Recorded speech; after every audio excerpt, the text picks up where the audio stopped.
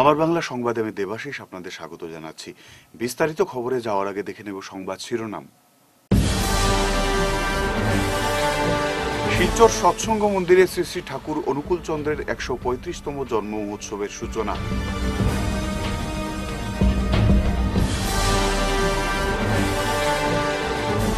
বরযাত্রাপুরে কংগ্রেসের হাত সে হাত জোড়ো অভিযানের জনসমাবেশে সামিল সহস্রাধিক।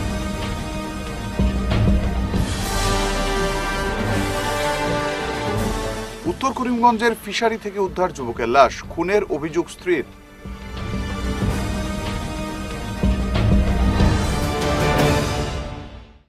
এবারে বিস্তারিত আমার বাংলা সংবাদ। পরম প্রেমময় শ্রী শ্রী ঠাকুর অনুকূল চন্দ্রের একশো পঁয়ত্রিশতম জন্ম মহোৎসব ও শিলচর সৎসঙ্গ মন্দিরের পঁয়তাল্লিশতম বিগ্রহ প্রতিষ্ঠা দিবস উপলক্ষে শনিবার দুদিনব্যাপী উৎসবের সূচনা করা হলো। এদিন সকাল সাড়ে দশটা নাগাদ উৎসবের সূচনা ঘোষণা করা হয়। পরে অনুষ্ঠিত হয় মাতৃ সম্মেলন সহ বিকেল তিনটা থেকে উপযোজনা কেন্দ্রের সভা। এদিন সন্ধ্যা থেকে অনুষ্ঠিত হয় সাংস্কৃতিক অনুষ্ঠান। রবিবার মহোৎসবের দ্বিতীয় দিনে, অর্থাৎ পাঁচই ফেব্রুয়ারি ভোর সাড়ে চারটা থেকে অনুষ্ঠিত হবে বেদ মাঙ্গলিক নহবত উষা কীর্তন ও নিত্য উপাসনা। এদিন সকাল নয়টা থেকে মন্দির প্রাঙ্গণ থেকে বের করা হবে বর্ণাঢ্য শোভাযাত্রা। এতে সুসজ্জিত টেবলো সহ প্রায় পাঁচ হাজারেরও বেশি সৎসঙ্গীরা অংশ নেবেন। শোভাযাত্রাটি শহরের বিভিন্ন পথ পরিক্রমা করে আসবে মন্দিরে। পরে সকাল দশটা থেকে শুরু হবে শ্রী শ্রী ঠাকুর অনুকূল চন্দ্রের সহ শ্রী শ্রী বরদা ও বড়মার বিশেষ পূজা ও ভোগ নিবেদন। সকাল সাড়ে এগারোটা থেকে ভক্তদের মধ্যে বিতরণ করা হবে মহাপ্রসাদ। পাশাপাশি এদিন সকাল থেকে বিকেল পাঁচটা অবধি চলবে বিনামূল্যে চিকিৎসা শিবির। বিকেল তিনটে থেকে অনুষ্ঠিত হবে ধর্মসভা। সমবেত প্রার্থনা এবং সন্ধ্যা ছয়টা থেকে শুরু হবে সাংস্কৃতিক অনুষ্ঠান। কংগ্রেসের হাত সে হাত জোড়ো অভিযানের তৃতীয় দিনে শনিবার বরখোলায় অনুষ্ঠিত হল জনসমাবেশ। প্রদেশ কংগ্রেস সভাপতি ভূপেন বরা, প্রাক্তন কেন্দ্রীয় মন্ত্রী পবন সিং ঘাটুয়ার, অখিল ভারতীয় কংগ্রেস কমিটির সম্পাদক পৃথ্বীরাজ প্রভাকর সহ কেন্দ্রীয় ও রাজ্য স্তরের নেতাকর্মীদের উপস্থিতিতে দিন সকাল এগারোটা নাগাদ বরখোলা বিধানসভা কেন্দ্রের অন্তর্গত বরযাত্রাপুর, লস্কর বাজার থেকে যাত্রা শুরু হয়। এর আগে এক জনসভা অনুষ্ঠিত হয়। এতে প্রাক্তন কেন্দ্রীয় মন্ত্রী সহ প্রদেশ সভাপতি ও অন্যান্য উপস্থিত বক্তারা বর্তমান সরকারের ব্যর্থতা এবং জনবিরোধী নীতির তীব্র সমালোচনা করেন। তারা জানান মূল্য বৃদ্ধি নিয়ন্ত্ৰণ কৰিম বুলি কয়। মূল্য নিয়ন্ত্ৰণ কৰিব নোৱাৰে। নিবনুৱা সমস্যা সমাধান কৰিব নোৱাৰে। বানপানী গৰাখহনীয়া সমাধান কৰিব নোৱাৰে। তেওঁ তেতিয়া বিষয়বস্তুৰ পৰা মানুহক ফালৰি কাটি নিবৰ কাৰণে বেলেগ বেলেগ কিছুমান বিষয় উপস্থাপন কৰি আমাৰ মনটো বেলেগ ফালে ঘূৰাব বিচাৰে। আমি বাল্য বিবাহৰ বিৰুদ্ধে নহয় কিন্তু বাল্য বিবাহ যেতিয়া কৰে যিদিনাখন হয় অসমত বাল্য বিবাহ হয়। ন অসমৰ বছৰ ধৰি হৈ আছিল। যোৱা বিশ বছৰ মন্ত্ৰী হৈ থকা মানুহজনে হৈছিল, এই অসমৰ মুখ্যমন্ত্ৰীকো কৰিব লাগে বুলি আমি মঞ্চৰ পৰা দাবি জনাইছো। আসাম প্রদেশ কংগ্রেসের ডাকে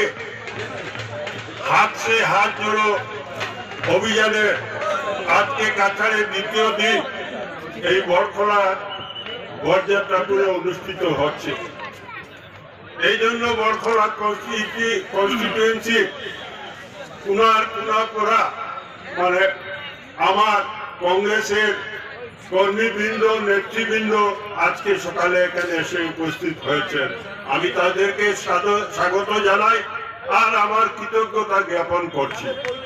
আমি স্বাগত জানাই আসাম প্রদেশ কংগ্রেসের সভাপতি ভূপেন বোরা মহোদয়। যার উদ্যোগে, যার ইচ্ছায় এই হাত সে হাত জোড়ো আন্দোলন হচ্ছে। করিমগঞ্জ জেলার মাইজগ্রাম নন্দরবন্দ এলাকা থেকে এক যুবকের লাশ উদ্ধার হওয়া ঘটনা নিয়ে তীব্র চাঞ্চল্য দেখা দেয় এলাকা জুড়ে। হত যুবকের নাম জমির হোসেন, বয়স পঁয়ত্রিশ। মৃতদেহ উদ্ধারের পর তদন্ত শুরু করেছে সীমান্ত পুলিশ। জানা গেছে, শনিবার সকালে গ্রামের এক ফিশারির পাশ থেকে ওই যুবকের লাশ উদ্ধার করা হয়। এদিন সকালে স্থানীয় এক ব্যক্তির নজরে পড়লে সাথে সাথে তিনি আশেপাশের জনগণদের খবরটি অবগত করলে এলাকা জুড়ে চাঞ্চল্য দেখা যায়। এদিকে খবর পেয়ে ঘটনাস্থলে ছুটে আসে লঙ্গাই পুলিশ। তারা মৃতদেহ উদ্ধার করে ময়নাতদন্তের জন্য করিমগঞ্জ সিভিল হাসপাতালে পাঠায়। পরিবারের সাথে স্থানীয়রাও ঘটনাটি নিয়ে খুনের অভিযোগ তোলেন। মৃত জমির হোসেনের স্ত্রীর অভিযোগ, জুয়া খেলার স্বভাব ছিল তার স্বামীর। শুক্রবার তার স্বামীর সঙ্গী সাথীরা তাকে খবর দিয়ে বাড়ি থেকে নিয়ে গেলে আর ফিরে আসেনি জমির। ঘটনাটিকে তিনি খুন বলে অভিহিত করার পাশাপাশি ঘটনার সঠিক তদন্তের দাবি জানান। হয়তো ৰাতিপুৱা আমি খবৰ পাইছোঁ খবৰ পাই আহিলোঁ দেখিলোঁ এটা আছে। এতিয়া বাকী ব্যৱস্থা কৰা হ'ব। আমি হস্পিটেলত লৈ যাম কি হ'ব কিবা ইনকুৱেষ্ট হ'ব। আৰু তাৰ নামটো কি? তাৰ নাম যিজনে আইডেণ্টিফাই কৰিছে তাৰ নাম জমিৰ হুছেইন বুলি কৈছে। অঁ এতিয়ালৈকে আপোনাৰ কিবা সন্দেহ হয়নি? এইটো মাৰ্ডাৰ নে না কিবা কি এইটোতো আফটাৰ পি এম ৰিপৰ্ট গম পোৱা যাব এইটোতো আমি একো এতিয়া ক'ব নোৱাৰিম ইনভেষ্টিগেশ্যন গম পোৱা যাব। লাঞ্চওয়ালা বিয়ানিওয়ালা ফোন করিয়া নিছন। নিয়া তো জিও করছে নাস্তা দি নাস্তা রাত লিয়া খাই খালাইছন কিতা কোন গ'লা এই যোৱাটা ও ফোনটা কর খালাই ফোনটা করার বাপি কইয়া ফুয়ে গুনা মকে লিয়া যা খেড়ে দে ওই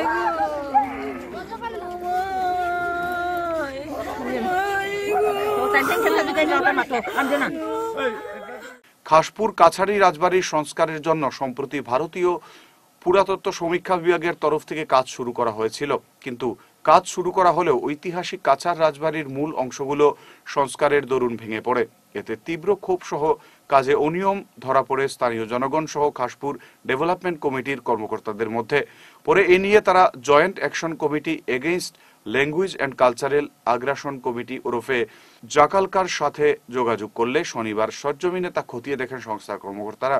পরিদর্শনকালে সংস্থার তরফ থেকে উপস্থিত ছিলেন সভাপতি নির্মল কুমার দাস, সম্পাদক ডক্টর শান্তি কুমার সিংহ, নেহারুল আহমেদ মজুমদার সহ খাসপুর রাজবাড়ী ডেভেলপমেন্ট কমিটির তরফ থেকে উপস্থিত ছিলেন সভাপতি রমারঞ্জন বর্মন, সমীর বর্মন প্রমুখ। এদিন সাংবাদিকদের মুখোমুখি হয়ে তারা জানান। রিনোভেশন ওয়ার্ক চলছে। তখন যে মূল যে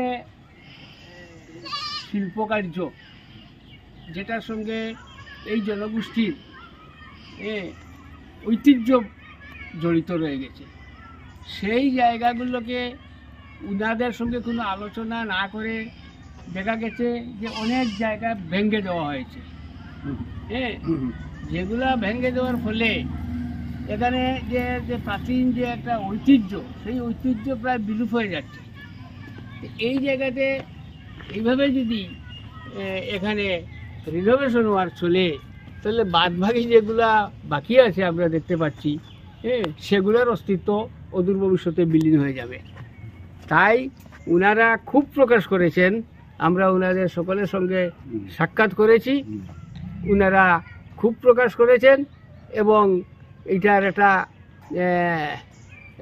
ব্যবস্থা গ্রহণের জন্যে উনারা সরকারের কাছে আবেদন নিবেদন করে আসছেন, কিন্তু আজ পর্যন্ত কোনো সাড়া পাননি বা কোনো ইতিবাচক পদক্ষেপ সরকারি তরফ থেকেও নেওয়া হয়নি। বা এই ঠিকাদারের ঠিকাদারকে সরকারিভাবে কোনো ধরনের সতর্কবার্তাও দেওয়া হয়নি। শনিবার বিশ্ব ক্যান্সার দিবস উপলক্ষে ভরাকাই উচ্চ ইংরেজি বিদ্যালয়ে হৃদয় স্বেচ্ছাসেবী সংস্থার উদ্যোগে এবং ক্যান্সার হাসপাতাল ও গবেষণা কেন্দ্রের সহযোগিতায় ক্যান্সার নিয়ে এক সচেতনতা সভা অনুষ্ঠিত হয়। এতে তামাকজাত দ্রব্য থেকে সবাইকে দূরে থাকতে শপথ গ্রহণ করা হয়। যে আমরা চাই না যে কারও ক্যান্সার হোক, আমরা যখন ক্যান্সার হাসপাতাল শুরু করেছিলাম, তখন আমরা জনসাধারণকে কথা দিয়েছিলাম যে আমরা এই উপত্যকার কাউকে বিনা চিকিৎসায় মরতে দেব না। সেই জিনিসটা আমরা এখনও ফলো করে যাচ্ছি। আপনার, আমাদের ক্যান্সার হাসপাতালে যদি কোনো ক্যান্সার রুগী যায়, তাহলে প্রথমে তাকে ছয়শো টাকা দিয়ে শুধু একটা রেজিস্ট্রেশন করতে হয়। সেই রেজিস্ট্রেশন সারা জীবনের জন্য। যদি পেশেন্ট পঞ্চাশ বছর আছে পুজো শেষ হওয়ার পরে মূর্তি বিসর্জন না করে নালা নর্দমার পাশে রেখে যাওয়া অনেকটাই নিয়মে পরিণত হয়েছে। কিন্তু কোনো শাস্ত্রে এরকম বিধান নেই। এরকম নিজের ধর্মকে অন্য ধর্মের মানুষের কাছে খাটো করা হচ্ছে। এভাবে আক্ষেপ প্রকাশ করেছেন প্রয়াস এনজিওর কর্মকর্তারা। তারা জানান, গত নয় বছর থেকে শহরের বিভিন্ন স্থান থেকে নালার পাশে রাখা মূর্তিগুলো সংগ্রহ করে বিসর্জন করে আসছেন।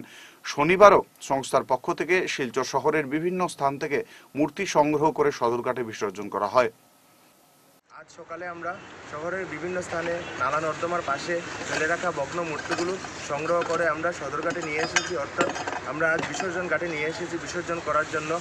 আমরা প্রয়াসের পক্ষ থেকে এই কাজ বিগত নয় বছর থেকে করে যাচ্ছি। আমাদের শহরবাসী এবং আমাদের হিন্দু ধর্মাবলম্বীদের কাছে প্রত্যেক বছরই আমরা এই আবেদন করে থাকি যে আপনারা পূজা খুব ভালোভাবে করে থাকেন। আমরা সবাই পূজা খুব ভালোভাবে নিজের মন থেকে পরিষ্কার, পরিচ্ছন্নভাবে সব নিয়ম, নীতি মেনে করে থাকি। কিন্তু পূজার পরে আমরা এই অবহেলা কেন? আমরা মূর্তিগুলো রাস্তার পাশে, নালার পাশে, নর্দমার পাশে ফেলে রেখে আসি। তা এই, এটাই আমরা পরিচয় দিই। আমরা ধর্মটাকে অন্যদের কাছে আমরা একটা হাসির পাত্র বানিয়ে নিই।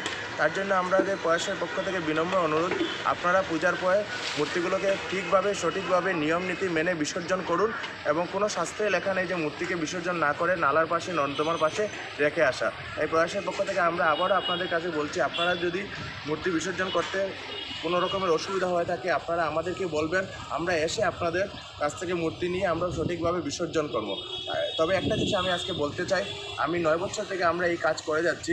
আগের তুলনায় অনেক কমেছে এখন মূর্তি, তাও আমি চাই আমাদের মূর্তিগুলো যেন পূজার পরে সঠিকভাবে বিসর্জন হয়, রাস্তার পাশে যেন একটাও মূর্তি এইভাবে ফেলে রাখা না না দেখতে পারি আমরা। ধন্যবাদ। প্রধানমন্ত্রী আবাস যোজনা থেকে যোগ্য ব্যক্তিকে বঞ্চনার অভিযোগ খণ্ডন করল পঞ্চায়েত বডি।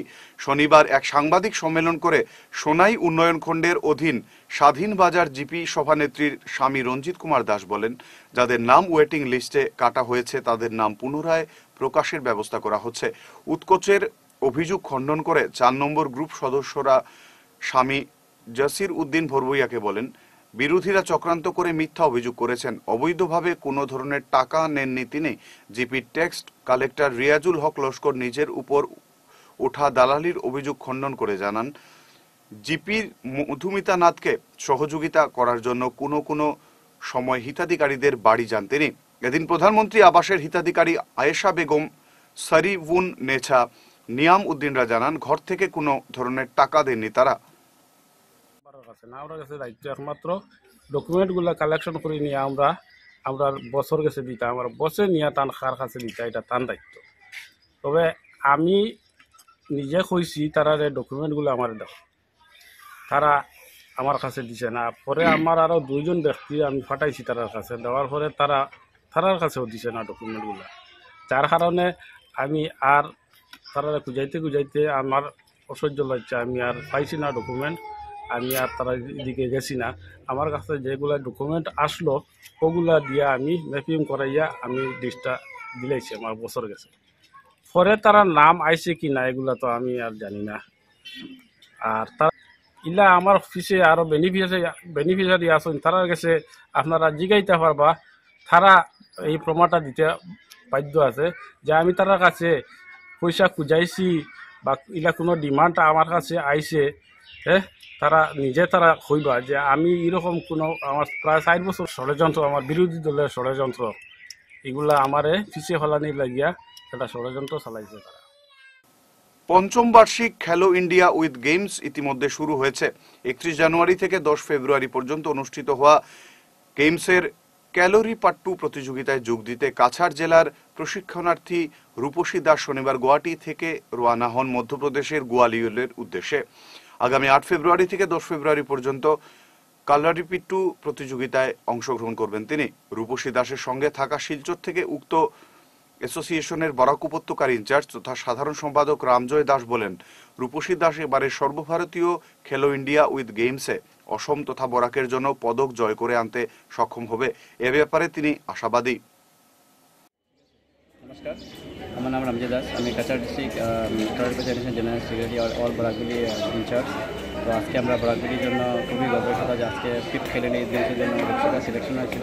আজকে আসাম টিমে আমরা যাচ্ছি ট্রেনে আমরা একটু পরে সার্ভে ট্রেন তো আমরা ফিফথ খেলে নিয়ে হবে আট থেকে দশ তারিখ হবে, গোয়ালিয়র হবে এখান থেকে। তো আজকে আমরা এখান থেকে রওনা হচ্ছি, তো তেরো জন স্টুডেন্ট যাচ্ছে, আর সঙ্গে আর কোচ আর অফিসিয়াল যাচ্ছে। আর আমরা আশা রাখছি যে ও যেন কিছু ভালো রেজাল্ট করে। আর আমরা আসামের নাম আসামের নাম উজ্জ্বল করে, আর ইন্ডিয়ার নাম করতে পারে ভালো করে এটাই আশা রাখি শেষ করার আগে বিশেষ বিশেষ খবর আরও একবার।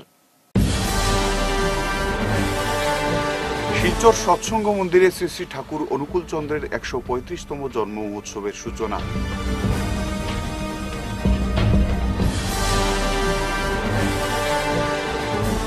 বরযাত্রাপুরে কংগ্রেসের হাত সে হাত জড়ো অভিযানের জনসমাবেশে সামিল সহস্রাধিক।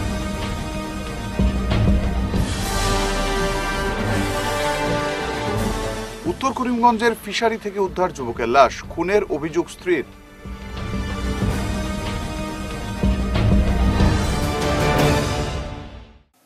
এখনকার মতো সংবাদ এ পর্যন্তই, ধন্যবাদ।